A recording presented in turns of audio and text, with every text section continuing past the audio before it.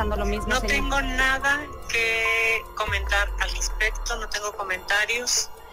Tras haber señalado públicamente al productor Luis de Llano por supuestamente haberse aprovechado de ella mientras tan solo tenía 14 años de edad y él 39, Sasha Sokol ha estado en boca de todo el mundo. Mientras tanto, la vida laboral del productor se ha venido abajo. Proyectos laborales que él ya tenía confirmados fueron cancelados. Además, se dice que su matrimonio cuelga de un hilo. Al parecer, su esposa Fabiola Lozano ya le pidió el divorcio. A través de dos comunicados y una entrevista, la cantante Sasha Sokol reveló detalles íntimos que sucedieron durante la relación sentimental que tuvo con Luis de Llano, cuando ella tan solo tenía 14 años de edad y el productor tenía 39. A través de otro comunicado, Luis de Llano se justificó asegurando que esa relación era totalmente pública, que él en realidad no hizo nada malo. La que hasta este momento se había mantenido en completo silencio es la esposa del productor Fabiola. Fue a través del programa En Shock, donde una reportera se comunicó con la esposa de Luis de Llano, quien ante la dura situación que está viviendo su familia simplemente se limitó a dar una pequeña respuesta.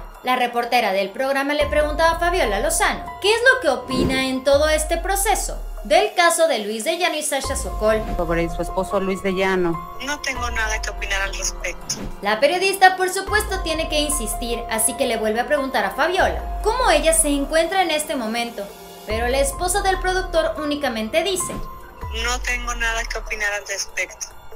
No tengo comentarios. La reportera le recuerda a Fabiola que en un momento ella dijo que si se casaba no era para divorciarse. Sobre esto le cuestiona una vez más, si esos planes continúan en pie, si ella desea permanecer casada con el exproductor de Televisa. Una vez más podemos escuchar que Fabiola responde. Es que no tengo ningún comentario al respecto. Gracias. En un reciente encuentro con distintos medios de comunicación, Alejandra Ábalos reveló que la relación entre Fabiola, quien supuestamente es su prima hermana, y Luis de Llano, inició cuando ella tan solo tenía 14 años de edad. Después de que se diera a conocer que Sasha Sokol sí empezaría un proceso legal en contra de Luis de Llano, algunos medios han asegurado que el productor había dejado el país ante la posibilidad de que las autoridades lo agarraran. Sin embargo, hasta este momento aún existen muy pocos detalles respecto a este tema. Recientemente, uno de los jardineros del edificio en donde vive Luis de Llano y su esposa en la Ciudad de México, al parecer reveló que el productor musical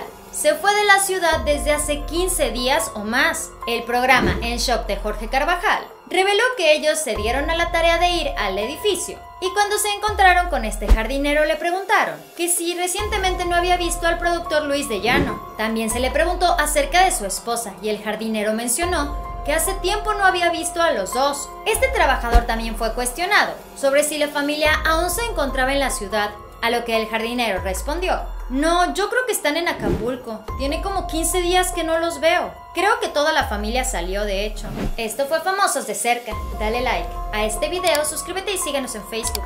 Espero que tengas un excelente día. Nos vemos muy pronto. Bye.